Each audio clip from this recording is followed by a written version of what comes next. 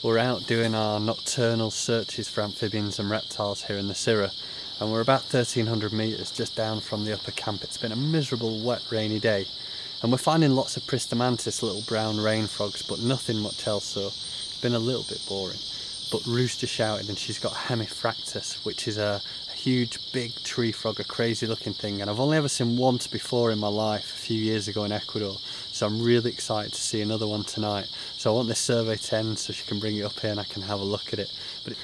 Come on, Ruth. It's not a Scotatus, is it? Come on. There she is. Ruth, turn your little head torch off.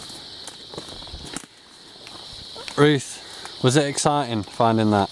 Yeah, after many Pristimantises before.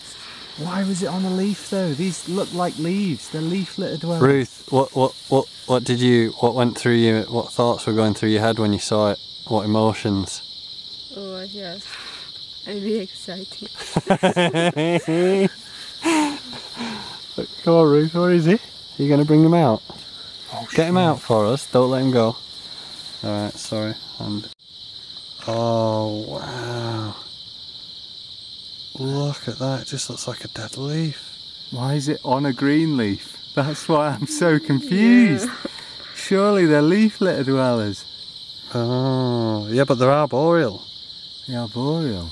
What?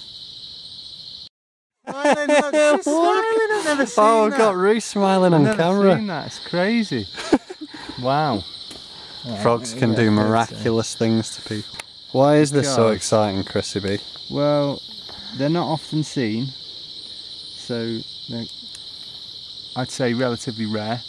Um, you've only seen one in how many years in the forest? Five Six- years? Six years. Six One. years in the forest. They're so cryptically coloured that, to be honest, if they were sat in a leaf litter or anywhere else, you wouldn't see them. And their heads are just insane. They're like nothing else, like a dragon, My So favourite thing is that it made Ruth smile. which is an even rarer occurrence, occurrence than a hemiphractus. Look, she's got, I didn't know she had teeth. Look at that.